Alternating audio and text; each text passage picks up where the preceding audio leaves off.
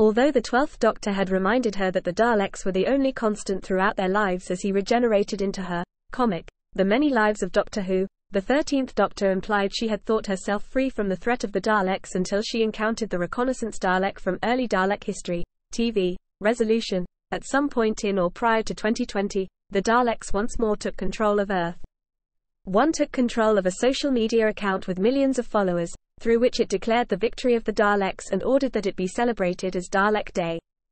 However, the Doctors soon began to interfere with the transmission, and a few moments later, the Daleks left Earth, albeit vowing to come back by the 1st of January 2021. Audio. Incoming transmission. On that day, WC, the defense drones, the 13th Doctor summoned a Dalek death squad that was stationed in the time vortex to the Earth, forcing them into a confrontation with a force of impure Daleks, which had been created by a clone of the reconnaissance Dalek she had previously fought, during their invasion of England. After the defeat of the so-called New Dalek Army, the Death Squad's flying saucer was destroyed by explosives planted by the Doctor's companions. The remaining units were lured into a spare TARDIS by the Doctor, who had programmed the TARDIS to fold in on itself and then dispose of itself in the void. TV. Revolution of the Daleks. When a king wanted her dead, the Doctor ran across hills and hid behind a Dalek. Prose. The Death List.